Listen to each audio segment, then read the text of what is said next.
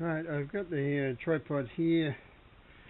I'm setting it up in the garage because I want to uh, adjust the cone error on the two OTAs that I've got. And so I want to be able to do that before it actually goes into uh, its final position. It's too hard to adjust the cone error uh, on stars because we're in the southern hemisphere. So It's a lot easier to do it during the daytime. So I'm going to set it up in the, basically in the garage, mount everything up. I'll get the telescopes on later and do the cone error, and then uh, take it to bits and put it put it, uh, put it in its uh, permanent position. So I've taken the two uh, uh, bolts off there. This is the mount head Obviously you can see it's quite damn large.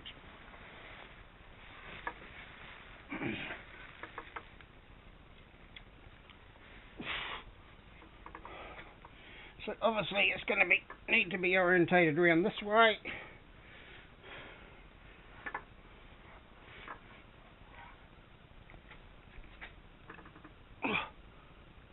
Oh, wrong way. Be the other way. Bloody.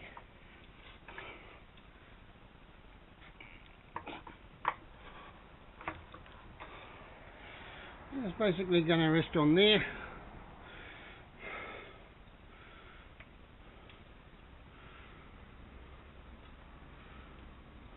Okay.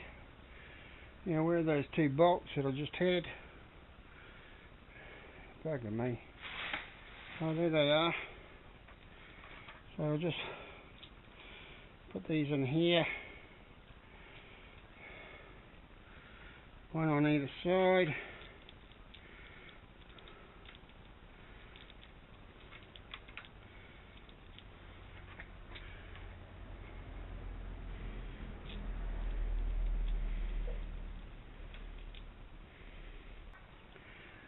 Right, so we've done up these two bolts, they're just finger tight at the moment. This particular bar, go through here to adjust the height screw mechanism. You want to wind it up. These are loose by the way, these these nuts uh, are loose as well. So we want to wind it up to about 41, which is about there. Allen key.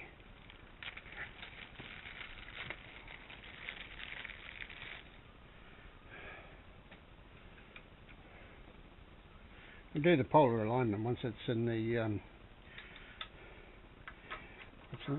once it's in the observatory, but in the meantime, just tighten that up. And next thing, the azimuth bolts, nice silver. Screw them in on each side. Very similar to this Celestron setup. Apparently there's a wide range of movement available we don't need to get this right it's just it's, we'll do it properly once it's in the it's in the shed but in the meantime put it on here that's tight or, or finger tight anyway. That's finger tight. Those particular bolts here, we'll just do those up so she doesn't slip off. Bit more than finger tight. Uh, this one here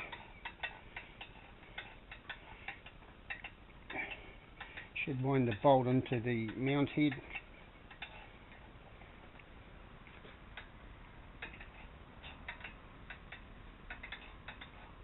don't know which way it's meant to turn around. Oh, there we go. So that's all tight. It ain't moving. Obviously the uh, Losmandy saddle uh, spring loaded.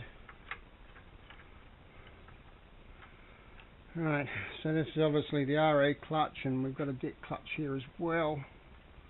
It's not tight at the moment. Okay, so that way is tight.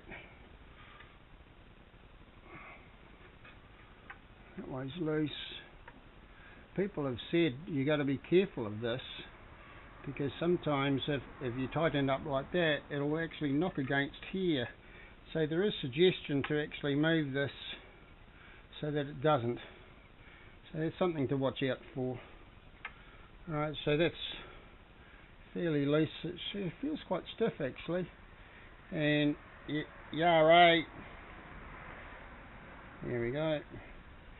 So we need the counterweight uh, shaft, big heavy uh, stainless steel, looks quite spectacular. Go around the front, obviously screw in here like this.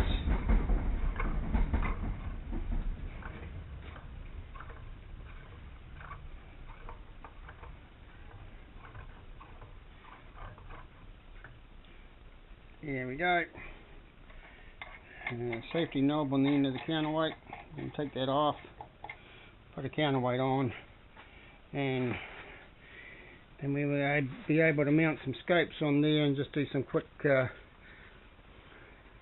adjustments for cone error, and then we can take it to the observatory and see what happens.